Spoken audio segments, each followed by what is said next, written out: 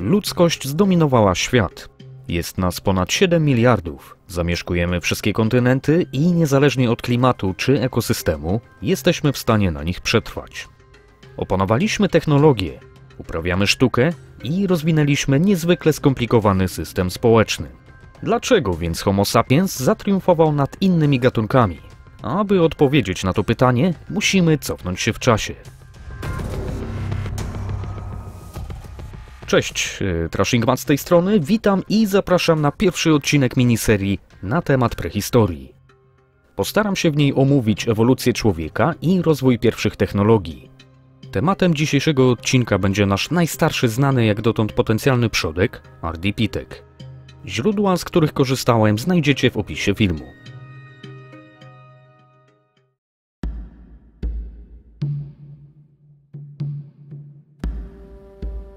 Aby pomóc sobie w odpowiedzi na pytanie, co wyróżniało człowieka i jego przodków od innych gatunków zwierząt, spójrzmy na naszego najbliższego krewniaka szympansa. Szympans razem z orangutanem, gorylem i człowiekiem należy do rodziny ssaków naczelnych zwanych człowiekowatymi, która wykształciła się około 15 milionów lat temu. Wyróżnia je m.in. wysoka inteligencja bądź możliwość przyjmowania postawy wyprostowanej. Około 13 milionów lat temu z grupy tej oddzielił się przodek orangutana, 10 milionów lat temu przodek goryla. Szacuje się, że ostatni wspólny przodek Homo sapiens i szympansa żył około 6 milionów lat temu. Nastąpił wtedy podział drzewa ewolucyjnego. W skali historii życia na Ziemi doszło do tego bardzo niedawno. Dla porównania, wymarcie dinozaurów nastąpiło 66 milionów lat temu. Na pierwszy rzut oka mogłoby się wydawać, że inne niż Homo sapiens człowiekowate niewiele się od siebie różnią. Jak się jednak okazuje, szympans są bliżej pod względem genetycznym do ludzi niż do orangutanów lub goryli. Ewolucja człowieka musiała więc przebiec diametralnie inaczej niż ewolucja szympansów. Spójrzmy na różnice i podobieństwa pomiędzy człowiekiem a naszym najbliższym krewniakiem. Przeciwieństwie do ludzi, którzy dotarli na każdy kontynent, szympansy zamieszkują jedynie dżungle i sawanny w Afryce. Nie przejawiają skłonności do migracji, nie potrafią też dostosować się do życia w innych warunkach środowiskowych. Od razu rzucają się w oczy różnice fizyczne. Szympansy są mniejsze i pokryte futrem. Ich ręce są znacznie dłuższe od nóg i poruszają się za pomocą czterech kończyn. Co prawda potrafią stanąć na dwóch nogach, aby na przykład rozejrzeć się, przejść krótki dystans lub po coś sięgnąć. Preferują jednak zdecydowanie czworonożność. Widać to porównując szkielety człowieka i szympansa.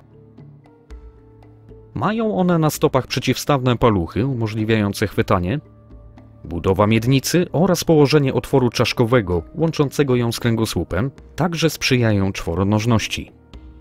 Podobnie jak sztywny nadgarstek ułatwiający poruszanie się na knykciach. Mózg typowego szympansa jest aż trzykrotnie mniejszy od mózgu człowieka, jest on także nieco inaczej zbudowany. Szympansy są zwierzętami niezwykle inteligentnymi, jednak pomiędzy nimi a nami jest pod tym względem olbrzymia przepaść. Ludzkość, poczynając od prymitywnych kamiennych narzędzi, rozwinęła z czasem technologię. Szympansy potrafią co prawda używać prymitywnych narzędzi, np. patyków do wybierania termitów z gniazd, czy też kamieni do rozłupywania orzechów.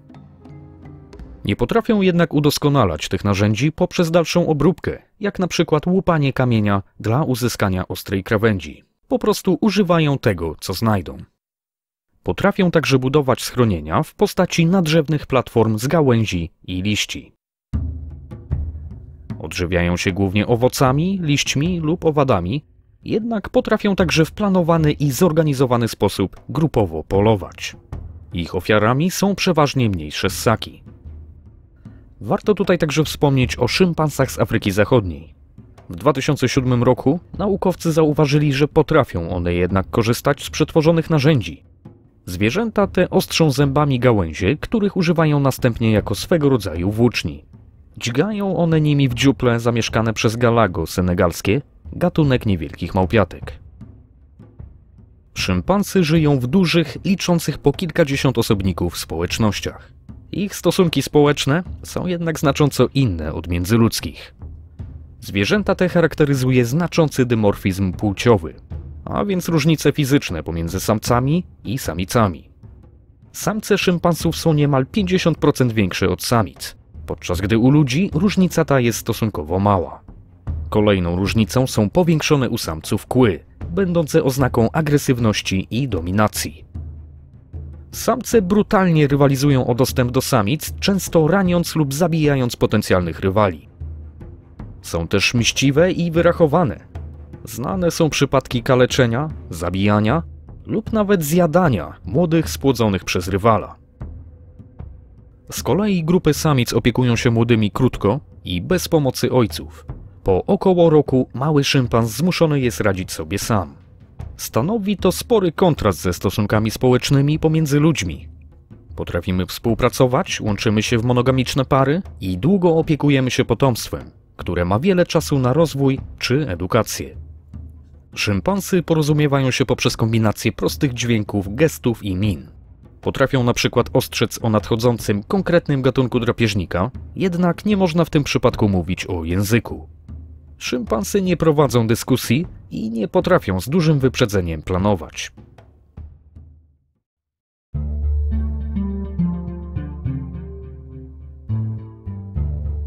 Jak na zwierzęta, szympansy są niezwykle inteligentne i najbardziej nas przypominają.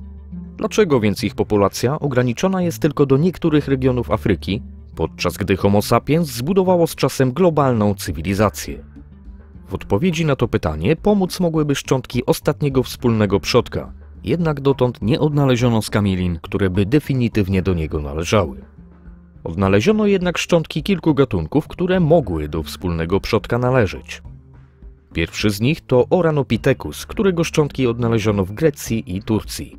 Żył od 8 do 7 milionów lat temu, jednak większość naukowców zalicza go do wcześniejszej rodziny małp zwanych driopitekami. Drugi gatunek to Grecopithecus, którego żuchwę także odnaleziono na terenie Grecji. Niektórzy naukowcy uważają nawet, iż mógł on być przedstawicielem linii ludzkiej już po odłączeniu się od linii szympansa. Kolejnym jest Sahelantrop, żyjący w Afryce Środkowej od około 7 do 6 milionów lat temu. Kształt jego czaszki wykazuje wiele cech przypominających bardziej człowieka niż szympansa. Na przykład otwór łączący czaszkę z kręgosłupem umieszczony był w sposób bardziej sprzyjający dwunożności. Ostatnim gatunkiem jest ororin, żyjący na terenie obecnej Kenii około 6 milionów lat temu. Wielkością przypominał szympansy, jednak podobnie jak sahelantrop był bardziej przystosowany do dwunożności. Jaki dokładnie był ostatni wspólny przodek człowieka i szympansa, nie wiadomo. Mógł to być jeden z powyższych gatunków, jednak ich znaleziska są fragmentaryczne. Nie znaleziono kompletnego szkieletu, który pozwoliłby na jednoznaczną ocenę. Mógł to być także zupełnie inny gatunek, którego po prostu jeszcze nie odnaleziono. Znalezisk z tego okresu oraz okresów wcześniejszych i późniejszych jest jednak coraz więcej i na ich podstawie większość naukowców sądzi, iż ostatni wspólny przodek mocno przypominał szympansa. Nie poruszał się jednak na knykciach i mógł wykazywać nieco większą skłonność do dwunożności. Więcej światła na to, jak on mógł wyglądać, rzucają odkrycia ostatnich kilkunastu lat w postaci skamielin człowiekowatych zwanych ardypitekami. Żyły one od około 6 do 4,5 milionów lat temu, a więc już po oddzieleniu się od linii szympansa.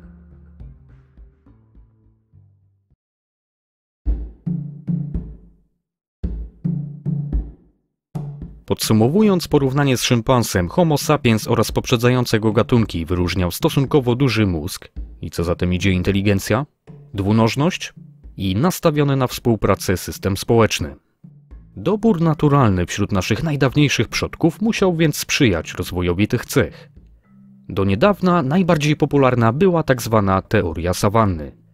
Około 6 milionów lat temu nastąpiły w Afryce zmiany klimatyczne, wskutek których rozległe lasy pokrywające kontynent przekształciły się w porośnięte trawami sawanny. Zmiana ta miałaby w cudzysłowie zmusić małpy do zejścia z drzew, przyczyniając się tym samym do rozwoju dwunożności. Odkrycia z ostatnich lat podważają jednak tą teorię.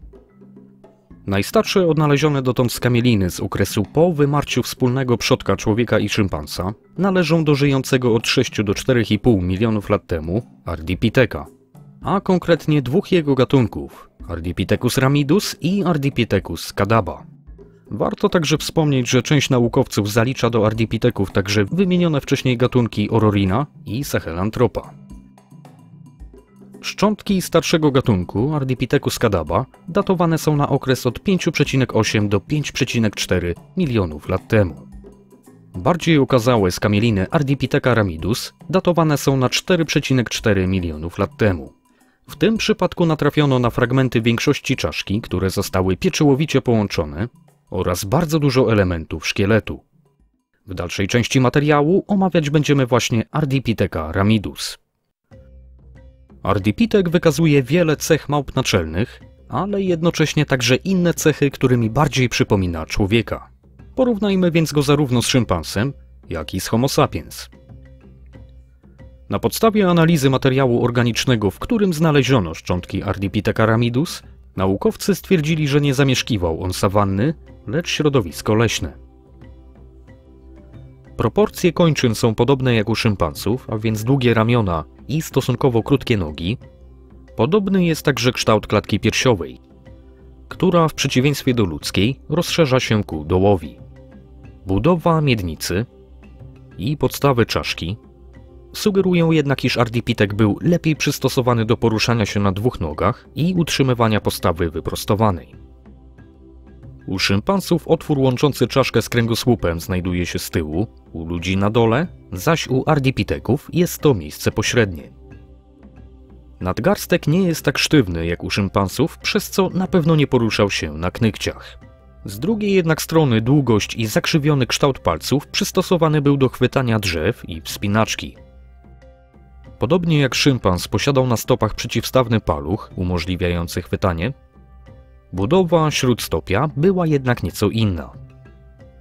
Naukowcy sugerują, iż ardipitek poruszał się dwunożnie na ziemi, zaś na drzewach używał do tego czterech kończyn. Zwiększona dwunożność uwalniała ręce. Mógł on więc na przykład przechodzić łatwiej z jednego drzewa na drugie, używać rąk dla stabilizacji, czy też na przykład sięgać po rosnący na zewnętrznych gałęziach owoc. Mózg ardipiteka był jednak mały, nieco mniejszy niż u dzisiejszego szympansa. Sugeruje to, iż to nieduży mózg był motorem do dalszej ewolucji ku Homo sapiens, przynajmniej początkowo. W przeciwieństwie do szympansów, samce ardipiteków nie posiadały aż tak mocno powiększonych głów. Wśród szympansów jest to oznaka dominacji świadcząca o zwiększonej agresji pomiędzy samcami. Brak powiększonych kłów sugeruje także mniejszy dymorfizm płciowy, a więc różnice fizyczne pomiędzy samcami a samicami. Wszystko to świadczyć może o zupełnie innych relacjach społecznych wśród grup ardipiteków. Samce nie były aż tak agresywne wobec siebie jak szympansy, co skutkować mogło większą współpracą. Samice mogły dłużej opiekować się małymi i być może pozostawać z samcami w związkach monogamicznych. Tak jak można to zaobserwować u większości gatunków, gdzie dymorfizm płciowy jest mały. Wedle jednej z teorii w tym przypadku sprzyjać mogła temu dwunożność.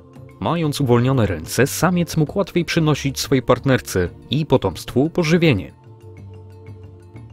Podsumowując, wyciągnięte przez naukowców wnioski sugerują, że cechy wyróżniające ludzi, takie jak dwunożność i być może kooperacyjne stosunki społeczne, pojawiły się bardzo wcześnie.